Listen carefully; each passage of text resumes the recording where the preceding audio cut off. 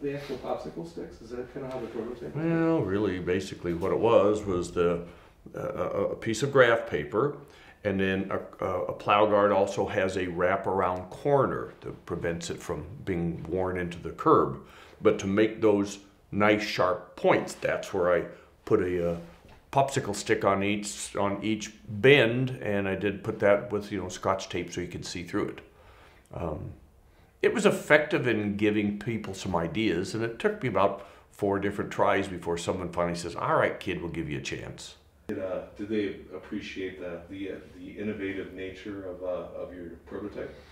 Um, they they appreciated the innovation of it, but uh, when the final product was all put together and I sent it to the first guy, he looked at it he goes, "That's it, huh?" Because I didn't have any of the metalworking machinery, we didn't have the lathes, we didn't have the punches, nothing like we are today.